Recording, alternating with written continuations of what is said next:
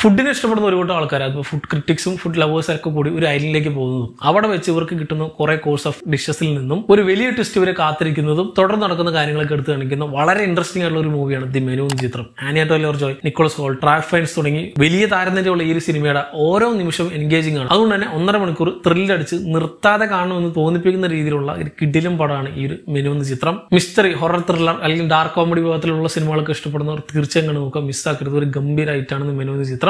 ഇന്ത്യയിൽ Disney plus Hotstar ഈ സിനിമ അവൈലബിൾ ആണ് ഒരു മസ്റ്റ് വാച്ച് ആയിട്ടാണ് കണ്ടുവെക്കുക This is what you're paying for. Get out of my way. It's all part of the menu.